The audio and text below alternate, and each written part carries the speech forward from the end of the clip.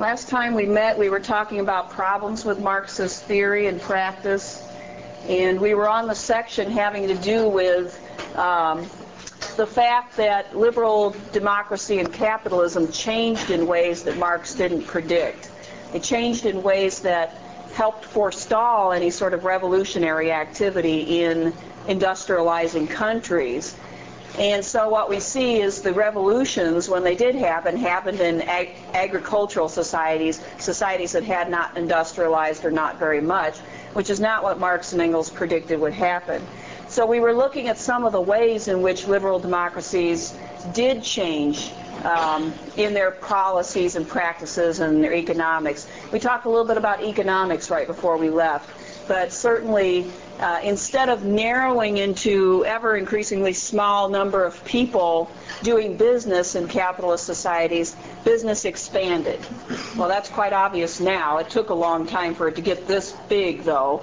Uh, but uh, we see more and more and different kinds of businesses developing at all levels, from corp- huge corporations all the way down to small business, all surviving side by side. Yes, there are problems with it, but certainly it did not develop in the way that Marx and Engels predicted, leading to a sort of desperation uh, situation. Here are some of the other things that, uh, that emerged. Uh, and we talked about these, but I think I'll start here just to sort of review because I like to do that, uh, whatever I left off on. You'll find that unions, um, instead of becoming irrelevant, as Marx and Engels thought, actually became a source of power for the working class. And uh, did work, especially in times when labor supply was in short supply, to raise the wages and better the working conditions of, of people. Countries developed minimum wage laws and all sorts of laws actually dealing with um, how many hours in the day people could work, um, whether they had to receive overtime or extra pay for extra hours that they performed, and so forth. Um, the capitalists got a little bit more savvy as time went by too because they did understand that unless they paid their workers a decent wage, one, they wouldn't be able to keep them uh, in certain situations where the workers were in demand, okay? Uh, and also that they would not have enough consumers, that there was a value in paying people a little more in order to not have that situation develop that Marx and Engels predicted of the crisis of overproduction.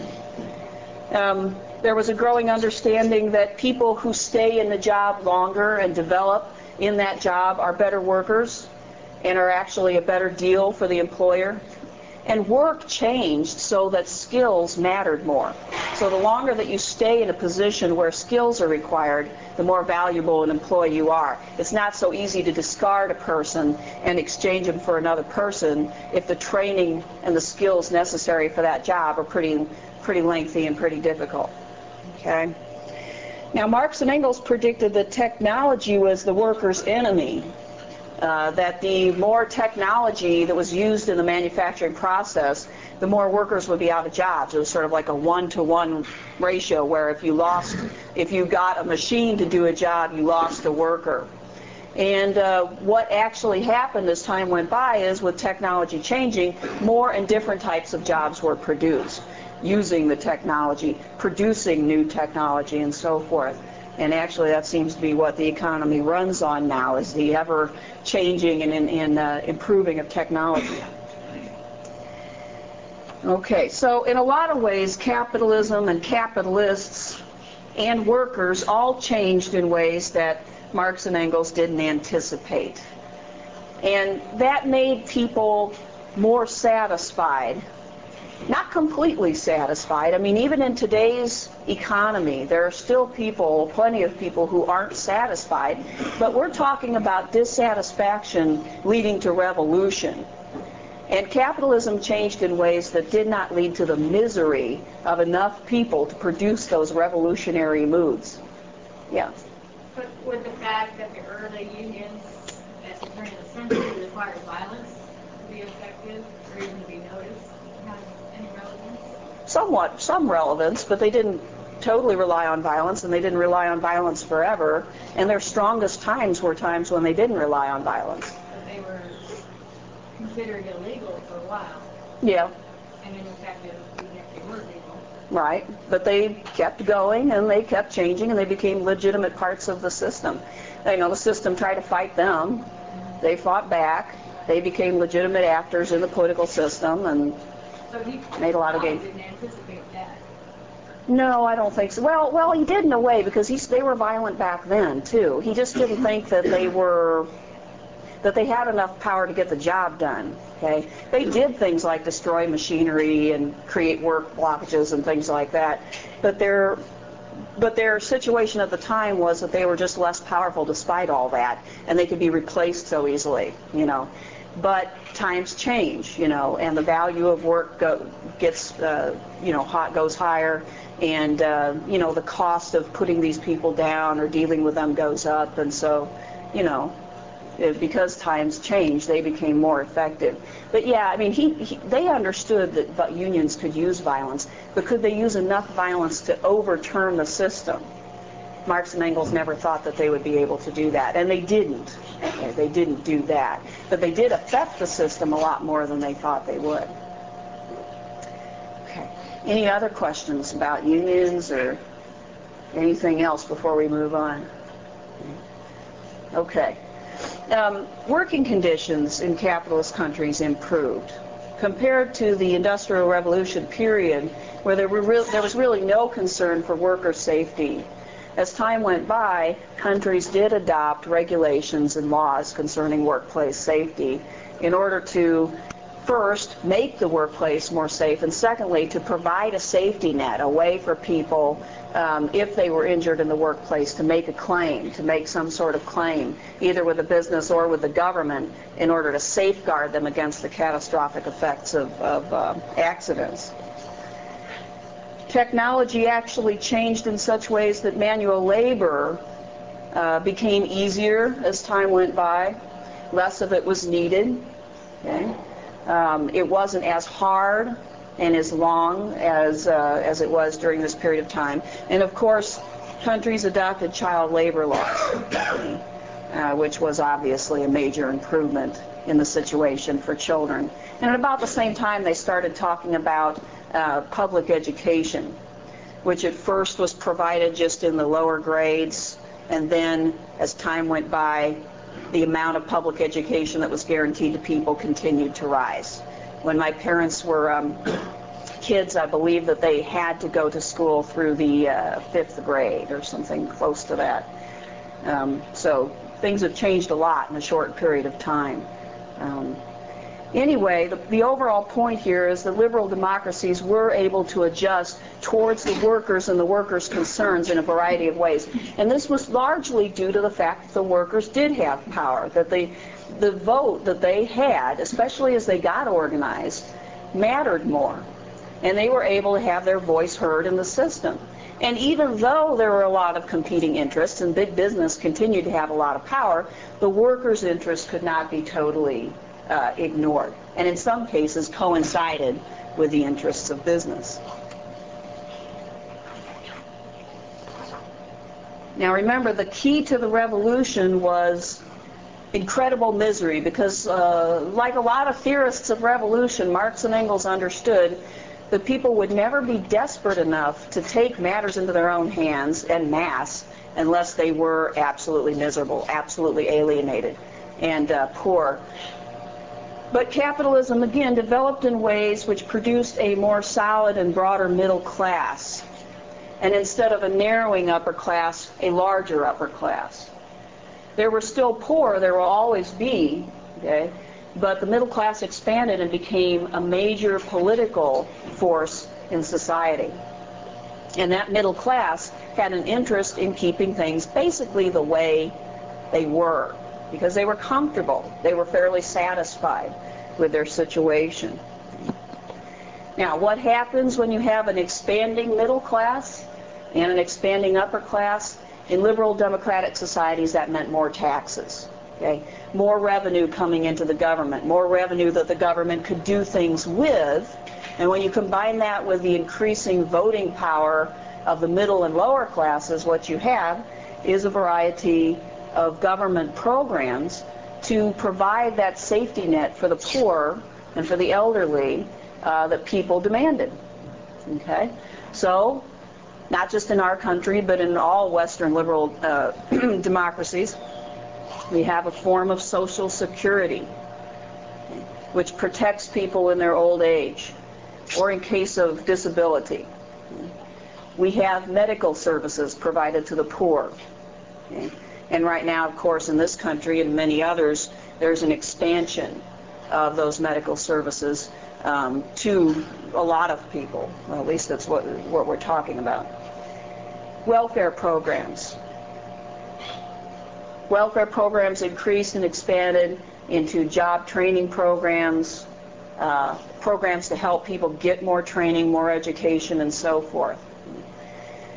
So the governments responded to the people's needs, but in a way that supported the overall capitalist system. Okay? To keep people out of absolute poverty helps the capitalist system. The more absolute poverty there is, uh, the more it drags down the entire system.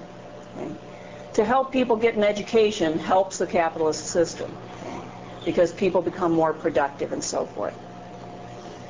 These types of programs also blunted the misery, the pain of poverty. Okay? Now, contemporary Marxists will say these are programs which capitalist countries created in order to sort of uh, minimally satisfy the poor so that they wouldn't be outraged enough to revolt. Okay? Well, that's, in a way, I mean, that's the effect of it right? That's one effect of it, okay? Depending on how you look at it, it could be seen that way. It supports the system, okay, definitely. Um, on the other hand, there's a growing emphasis on getting people off of welfare and into work and being productive, which would seem to sort of go against uh, the more cynical view. When you get a middle and upper class that's growing, you get more charitable giving. And in this country and elsewhere, uh, in Western capitalist countries, wherever there's prosperity, there's more charitable giving. And there's a massive amount of it in this country. And that also helps uh, the poor. Okay? So, what we have then is a situation where most people are better off than they were by far during the Industrial Revolution. And even because of the variety of uh, social welfare programs and guarantees that we have, even the poor are more secure by far than they were during the Industrial Revolution. And all of that results in a lack of profound dissatisfaction. Okay? Yes, there's dissatisfaction, but not profound enough to argue against the system as a whole and to want to change it for another system. Okay? One of the things that people are enjoying now in greater and greater numbers than ever before is private leisure time. One of the greatest complaints that Marx and Engels had against the capitalist system of the time was that everybody, you know, in the working class was working so hard and so long, they had no other life. It was just sheer drudgery. Okay? And there was nothing to live for except for survival. Well, that is a situation that would throw people into desperation. But as people worked fewer hours and had more buying power, they were able to pursue leisure in a way that the working class people had never been able to do before in human history. And uh, that continues today. And again, when people have leisure time, they don't have to get all their satisfaction from their jobs. Remember that Marx and Engels said work is life's prime desire. And when it's no good, when it's tedious and so forth, that's terribly alienating. Okay? But it looks like more people in this type of system get satisfaction outside of work as well as in work. Maybe the work is minimally satisfying, but they've got a family life now. They have time that they can spend uh, with their family. They can pursue hobbies and so forth. Um, so that is a that is a situation that Marx and Engels did not predict and could not anticipate uh, happening within capitalism. Now, I put this down here even though, you know, uh, as a social scientist, I have to say most people still don't exercise their rights meaningfully, uh, but that's their choice more now than it ever has been in the past. Okay? If people have leisure time to watch TV and play video games and go to movies and go shopping and so forth, they could have the leisure time to participate in the political system more now than ever before. And many of us do. Uh, we are better educated, we are more informed about what's going on with our government, and if we want to, we have the ability and the means to participate by speaking up, writing a letter to the editor, getting involved in a community group uh, that wants to make some sort of change. Um, we have that opportunity. A lot of people still don't take it, uh, but it's an opportunity that people never had in the past because they were illiterate, because they were working too hard, because the last thing they needed or could have on their mind is what the government was was doing. So that too has uh, changed in a positive way for people. All right. So capitalism, though it has its problems, and we'll talk about those more in a little bit, capitalism is something very different from what Marx and Engels predicted it would be. It has done many things that they never thought it could. Okay? It has adjusted in a lot of ways uh, to people's needs, and it has produced far more prosperity than they would have ever thought possible. All right. Another problem with communism is its real-world history. Um, now, Marx, of course, predicted that revolutions would happen in capitalist countries, but as I've said, they did not. They happened in poor, mainly agricultural countries. And of course, the first was the Soviet Union, this huge, huge country, uh, which was mainly farming in, its, in, in what it produced, farming, and um, in which most people did not even know that the revolution had happened when it happened. They were not involved. Um, this was not the scenario that Marx and Engels thought would, would come about in those real life communist revolutions, the theory of communism was not used as a way to check whether the government was doing the right thing or not, but was rather mainly used as a ideological or propaganda tool for a dictat- dictatorial government.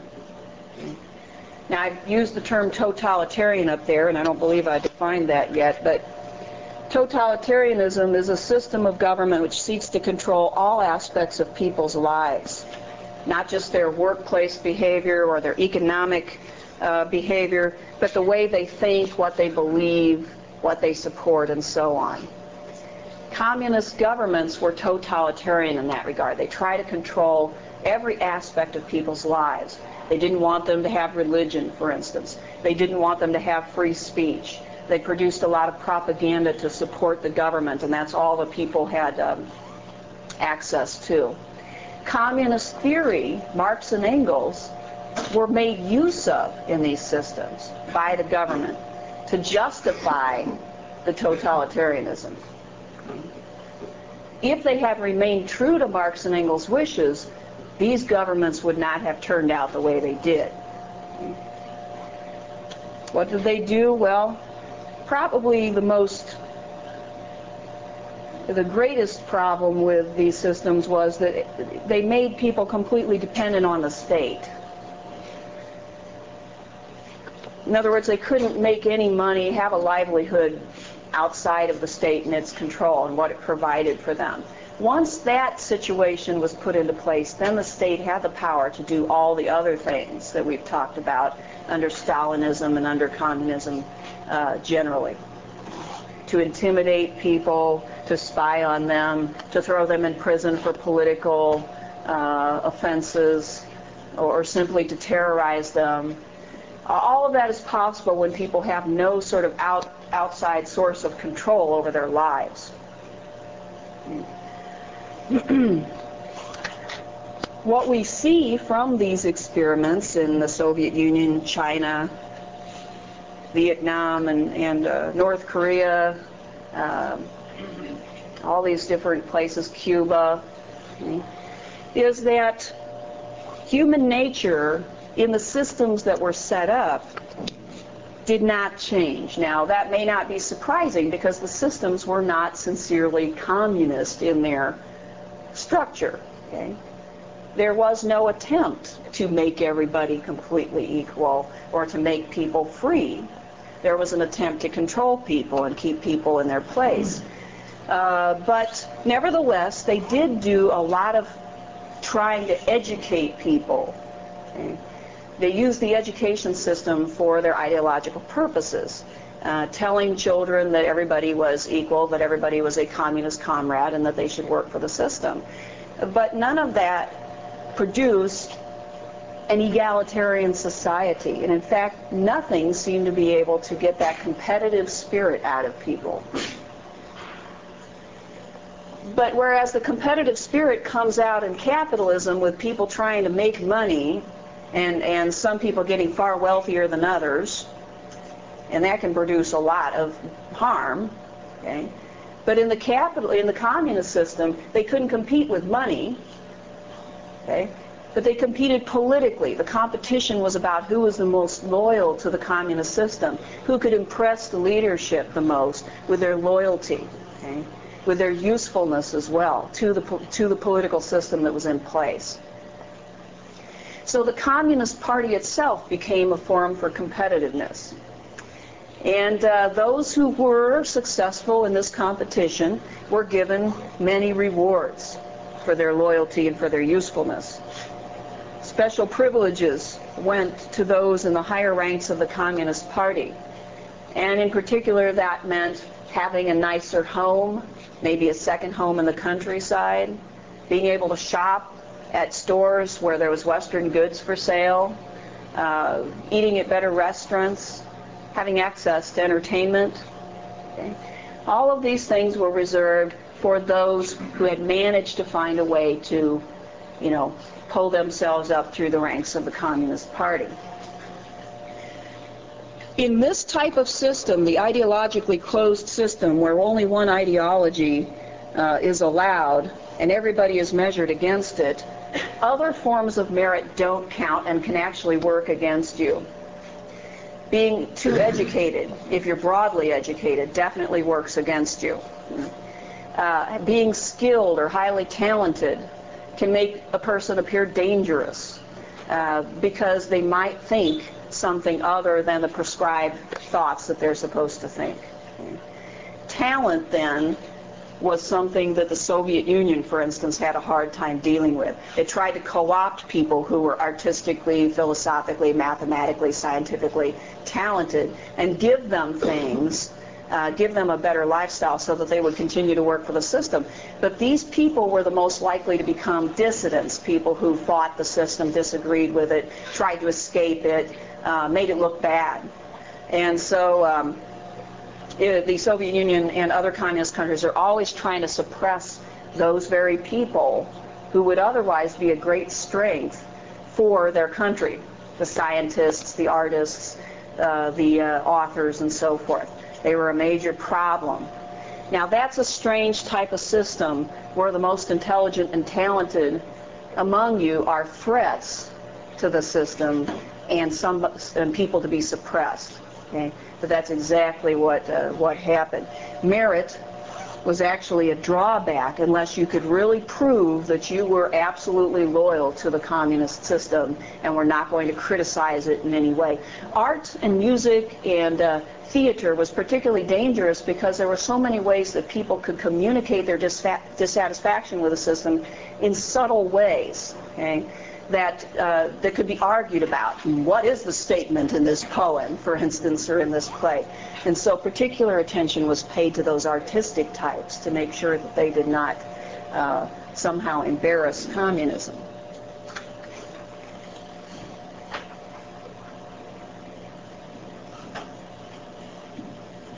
And before I go on, just to give you an example of the hostility towards intellectuals that can occur in a communist system in communist Cambodia in 1978.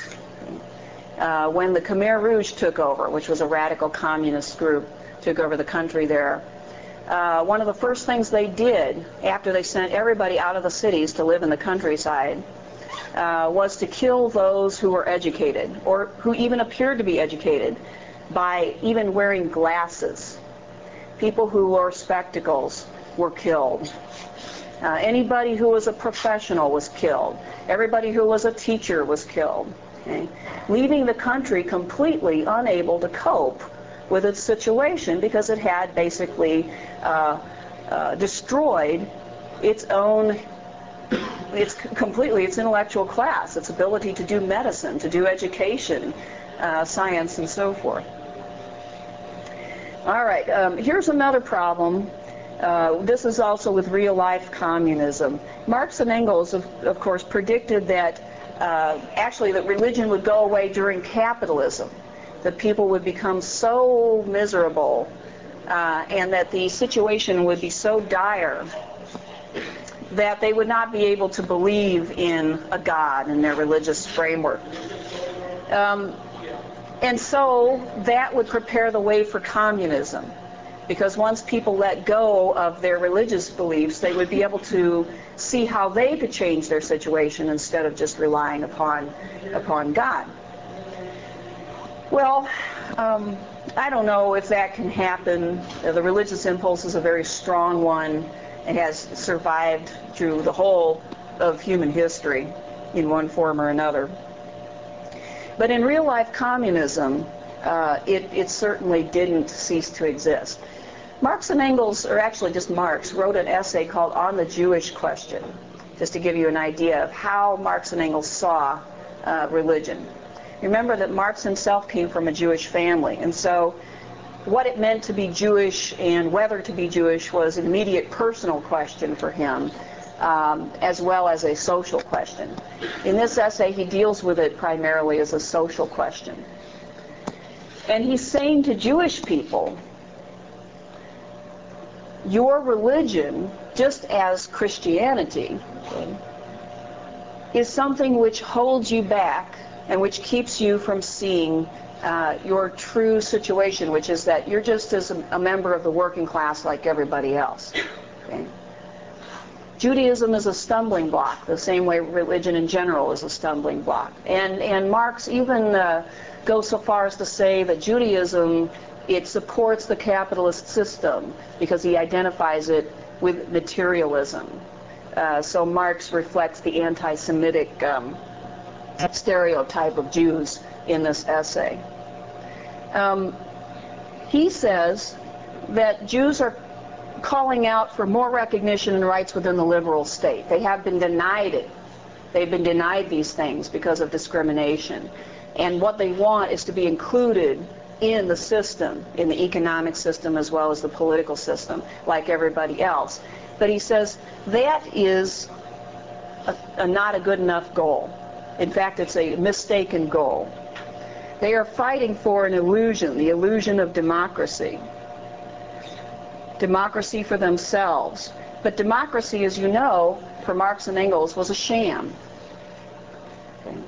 It didn't really give people any power. It didn't really give people any rights. So Marx says to Jewish people, wake up and realize that Judaism is just simply another opium of the masses. It's just another illusion, and it helps to support the overall system. He said their true interests lie with the working class the same as everybody else. Okay? And that's how Marx viewed religion generally, as a stumbling block, as an illusion, as something that supported uh, capitalism and exploitation.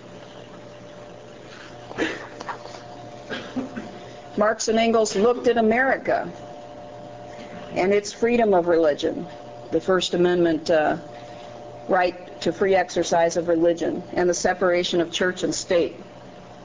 And he criticized America, although you would think at first that maybe he wouldn't because the state is free of religions, so, so to speak, and religion is free of the state. But Marx realized that it was in this situation where religion could thrive where people felt free to worship as they chose, and where um, religion was generally regarded as a positive thing by the general population. So religious neutrality, the separation uh, of church and state, was actually a situation in which religion could flourish. And Marx and Engels thought that was a bad thing. Until Americans could free themselves from their religious illusions, they too would not be free. Okay? So that's how uh, Marx and Engels saw American liberalism. Okay? Religion simply supported rule by the bourgeois elite in America in the same way that it did in Europe, in their view, allowing people to accept far too much of their bad situation and thinking more of justice in the afterlife and so forth than in this life.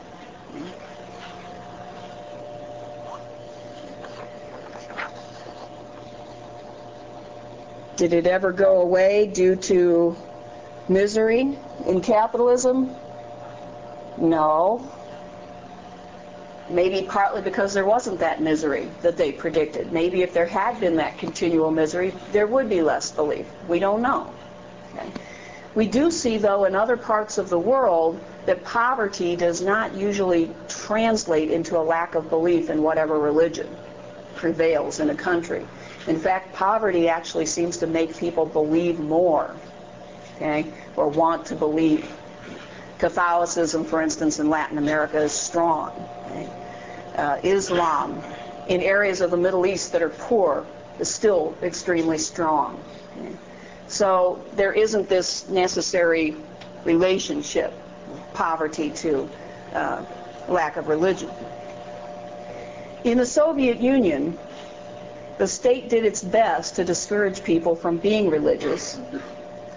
It closed a lot of churches, but not all churches. The Soviet Union was always sensitive to being criticized from the West about being too oppressive. So they did things like they allowed a, uh, some churches to stay open, and then they watched those churches very carefully. In the same way that they allowed the disco in the video uh, to stay open, you know, the only disco in Moscow, but foreigners were allowed to go there. Okay?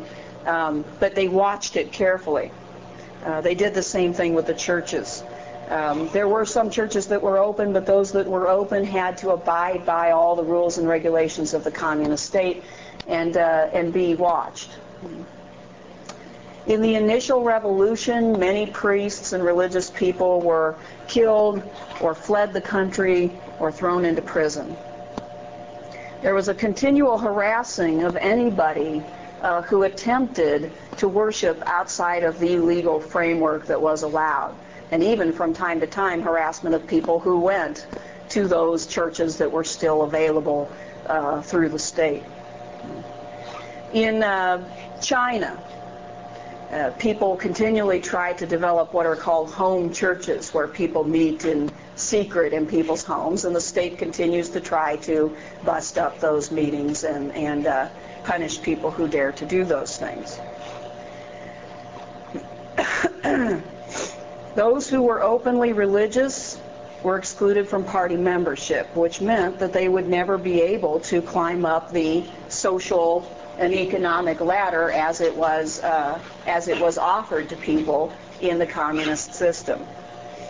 And yet, despite all of these attempts and the continuing propaganda in education that religion was a bad idea or not important or oppressive, we found out when uh, communism collapsed in the Soviet Union that religious belief had not died at all. In fact, had not even suffered serious setback because immediately upon the collapse of that system, people started to retake the churches that had been taken over by the state for government purposes. Um, they immediately started to gather and tried to worship in their traditional ways. And uh, the Bible, within a few weeks, was the number one bestseller in the, so- the former Soviet Union.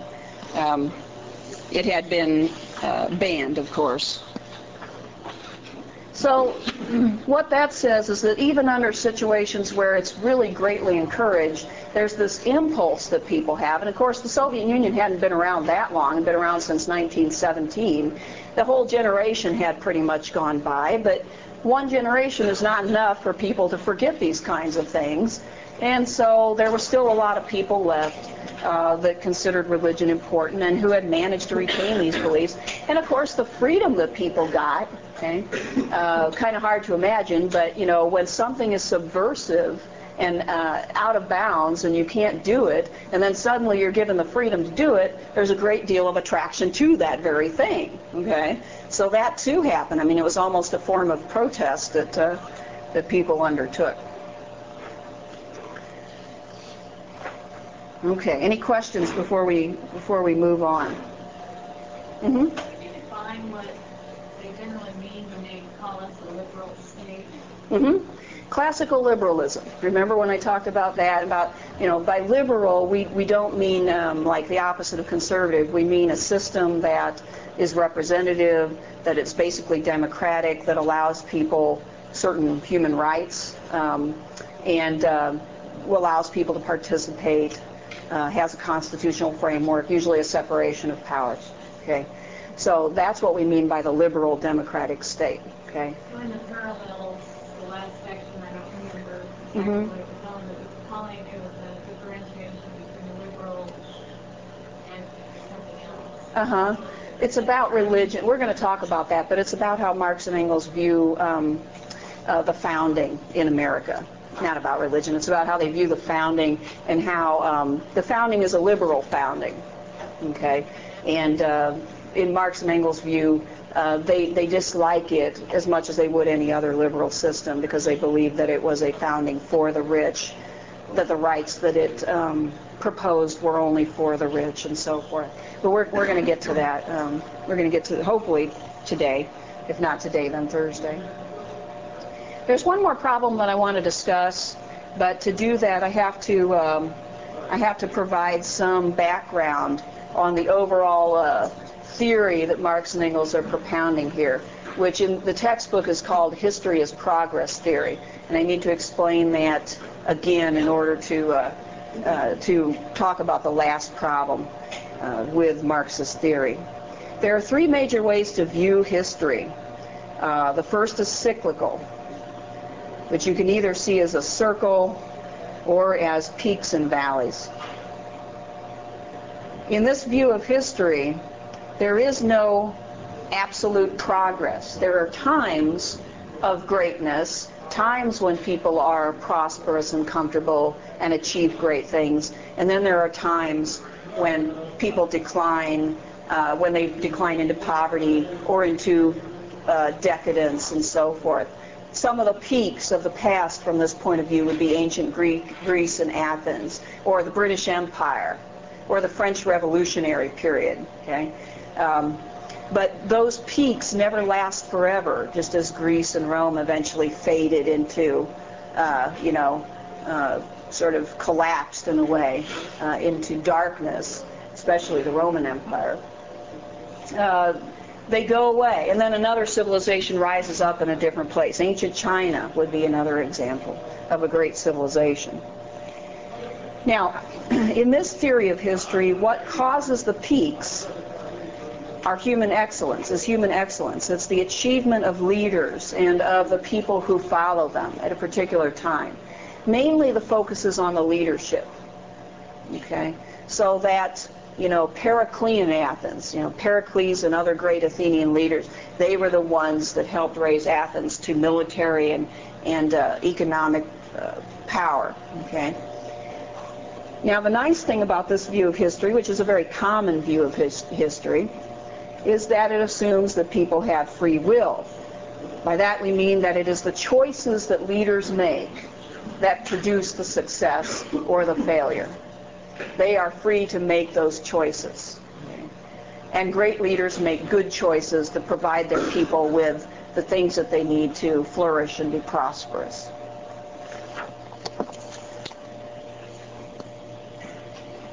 Then there are those, and there aren't too many of them, but you see them every once in a while, who believe that history is really decline, continual decline, from a golden age in the past to the present, which is seen as decadent. Hmm? And usually, uh, again, you know, it's kind of interesting, Greece and Rome figure prominently here too. A lot of uh, folks, say from the 19th century, 19th century historians, look back at those ancient times and said, well, that's when human beings were at their peak, you know, uh, because of all the great art and literature and philosophy and so forth. And uh, then look what happened, you know, uh, things just, you know, in the Middle Ages, they just went down, you know, into ignorance and poverty and so forth. And, and uh, some people today look at history in this way when they see that uh, even though, say, the West is very prosperous, uh, we have moral decadence. We have gone from a state of fairly good uh, morality to moral decadence. Uh, or from a relatively peaceful world to a world where war is terribly destructive. From a relatively clean world to a world that is very polluted and, and has all sorts of, of environmental problems. So there are those who see, even though we have made technological and economic progress, that really we're in decline, that we're destroying ourselves, that we're destroying our world, and uh, that we don't see any way of getting out of these uh, problems. Now, again, this view assumes free will. The environmentalist, for instance, who says that we have made, you know, we've made terrible mistakes. We have we have decided that we're going to, uh, you know, produce as much as possible without any regard for the environmental impact. We're going to, you know, chop down uh, trees without thinking about uh, the impact on the environment or replenishing those supplies and so forth. Um, you know, that all assumes that people could make different choices. Okay? They made bad choices because we're greedy people, right? But we could make better choices. Okay? Now, a lot of a lot of them sound awfully dire and and uh, so forth, but the implication is we could change. We could change if we wanted to. Okay, we could do things differently.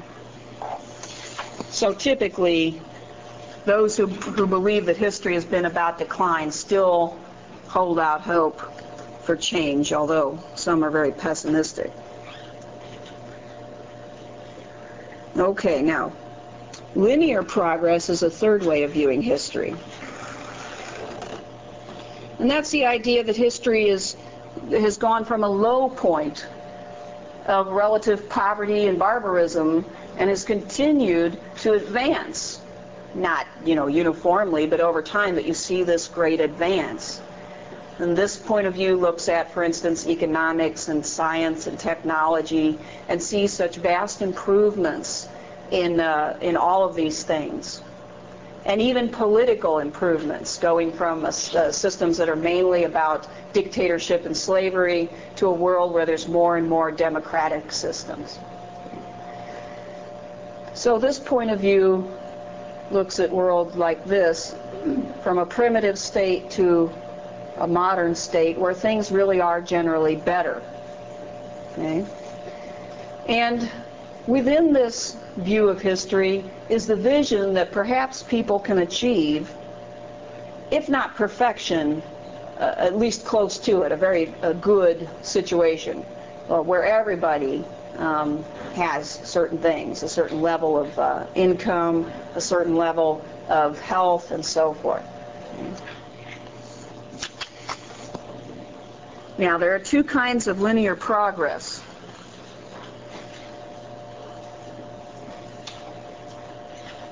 The first one says that that progress is caused by choices again, okay? that is caused by people applying reason to solve problems.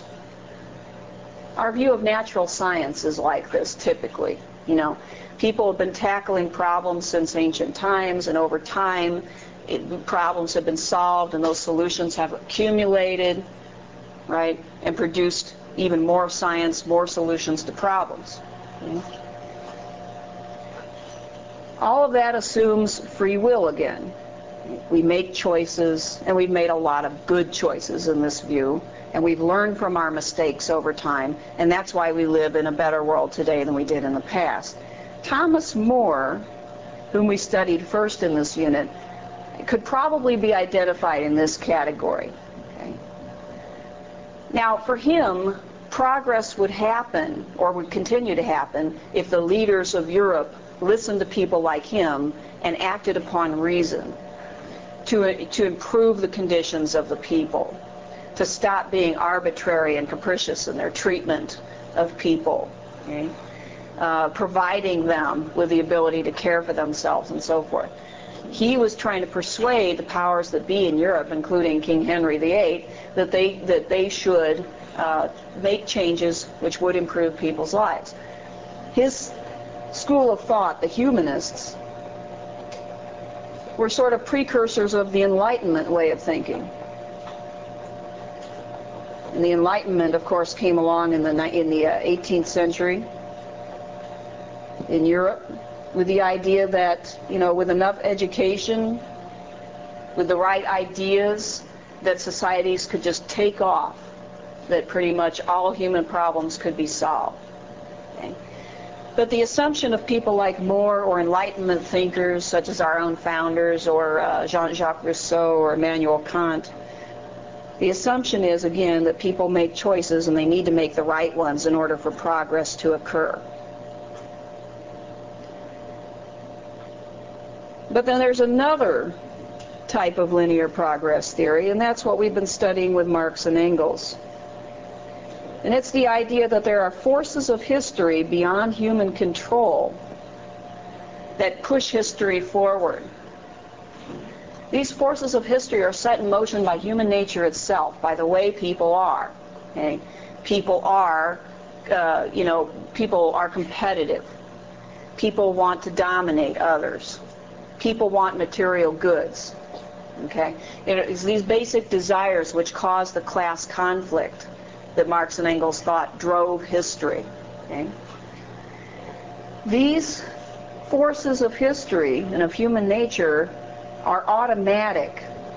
Marx and Engels describe a sort of natural selection process, uh, the evolutionary movement from primitivism to the communist revolution. Okay? They don't say that it's about choices of leadership. They say that it will happen regardless of what the leadership does. They can either accommodate the revolution or they can get out of the way and be destroyed by it. It's going to happen. The forces of capitalism have created, for instance, a situation that inevitably will lead to communism. Okay? So we call that type of system of thought deterministic because the idea is that these forces determine the fate of human beings, that we do not have the free will or the choice to change events. Okay? That is their theory. Okay? The forces of history are propelling us forward, and we cannot do anything except for perhaps shape the way these things happen. We can't stop them from happening for a lot of people, this message was great. It was very hopeful because no one would be able to stop the positive changes that were going to happen. That made people want to be a part of the trend, to be a part of what was going on. Um, and so that type of theory is very attractive on one level, but it is saying ultimately you can't do anything to, to stop this, to change anything. Um, determinism is kind of the opposite of free will. Okay, now with that I can come to the fifth uh, critique of Marxism, and that is its millenarian nature. What we just described when we talk about the forces of history leading to an inevitable end resembles in a way, the Judeo-Christian history or historical concept of the creation of the world, the period of time, massive period of time, where God's story unfolds, and then a second coming in which God comes back to earth and creates a paradise on earth.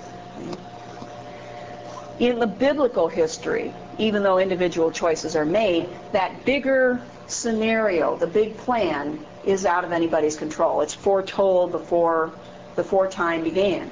Okay? That's the feel, in a way, of the Marxist theory. And it's possible that the millenarian nature of Marxism, the fact that it points to this paradise on earth, this great transformation that is bound to happen, is actually the most dangerous aspect of the theory. If that great transformation is going to happen, that paradise on earth is going to be brought about, then any price may be acceptable okay, as the price to pay for that transformation. If it's going to happen, you can't fight against it anyway. How can you object? And what are claims of justice or morality or humanity in the wake of this huge tide of history? So the millenarian nature of, of this ideology can justify either standing back and just allowing the revolution to happen and the excesses of that revolution, or actually taking part in the revolution and committing crimes, because after all, there is no stopping it. And the promise that it holds out for people is so fantastic that it would seem some death, some suffering is trivial compared to the promise of the future. After all, we're talking about something close to heaven on earth. If it actually existed, and people actually got to the point where they would completely share and help each other, never be selfish, support each other's development, give freely of their time, and so forth, it would be like heaven on earth. And for that, and especially given the sort of deterministic nature of the theory, so what if in the process of achieving this, a lot of people are killed? We're talking about the total transformation of human history. In real life communism, this sort of played out in the worship of Stalin and other communist leaders like Mao, the state worship that was developed at the, you know, by and for the state itself. And as you saw in the video, there were people who lived in the Stalin period and knew that Stalin was doing some pretty harsh things to people. That dissidents were disappearing, they, you know, thrown into prison, people were being shipped off uh, to labor camps and so forth, but who were able to justify these actions because they lent themselves to the greater good and because we they could trust Stalin because Stalin was the leader of the revolution, the revolution that was bound to be, that was going to create great things. Surely he knew what he was doing. And Stalin took full advantage of the theory. He repeatedly referred to, quote, dialectical materialism and the idea that the forces of history justified everything that he did. And people were able to accept that as long as the violence didn't touch them personally. Um, they were able to accept the level of violence and tyranny of others. So, some criticize Marxism for being a sort of secular religion. Something that can be so firmly believed in that people will do the most outrageous things in order to be faithful to it and in order to achieve its promises.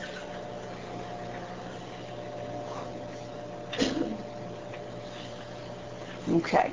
Does anybody have any questions to ask about that or about any of these critiques that we've covered?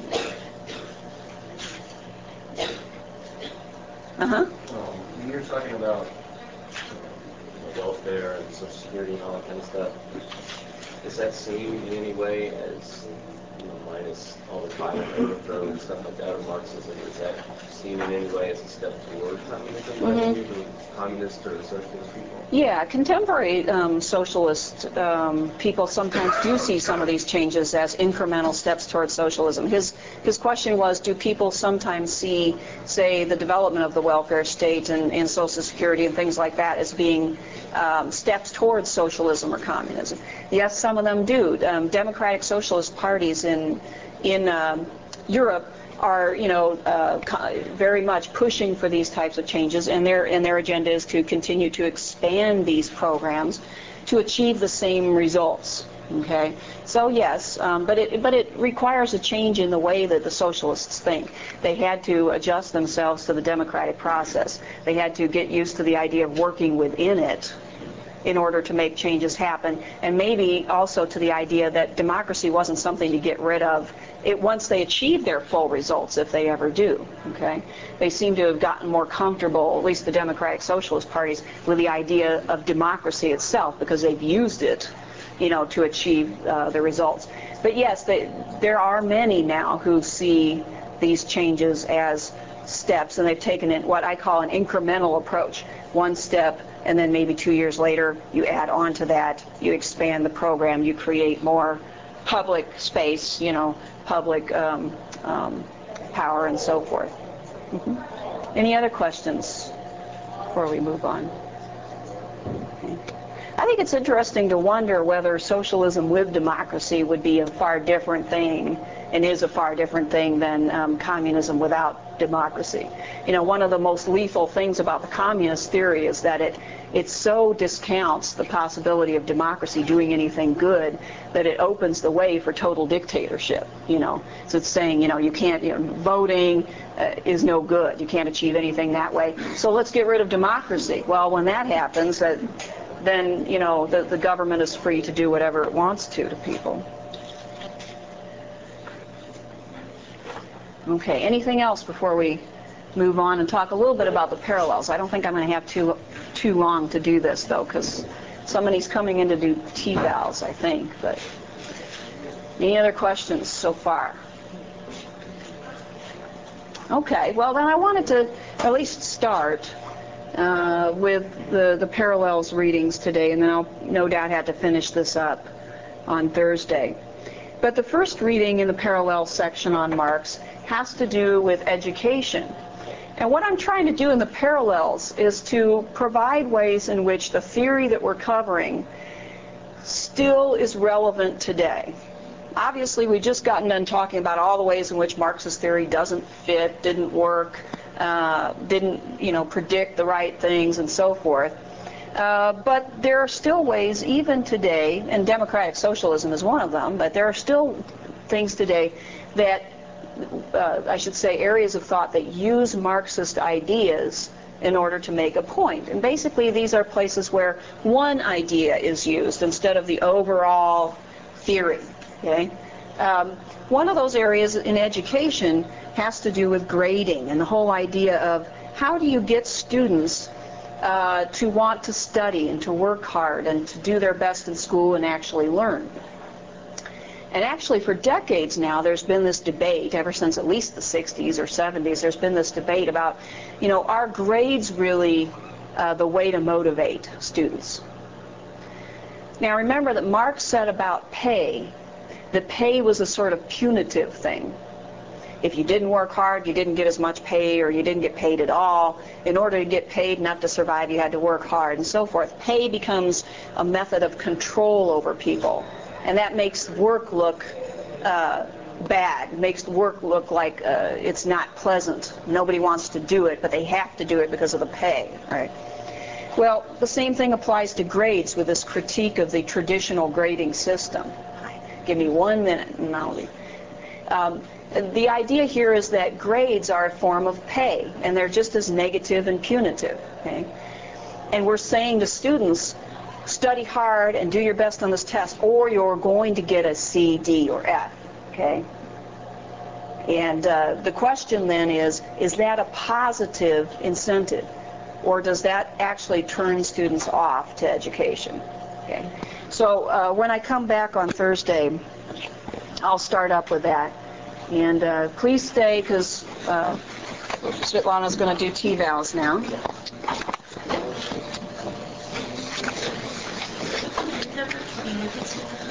Um, the room number is 244. Uh-huh. Yeah.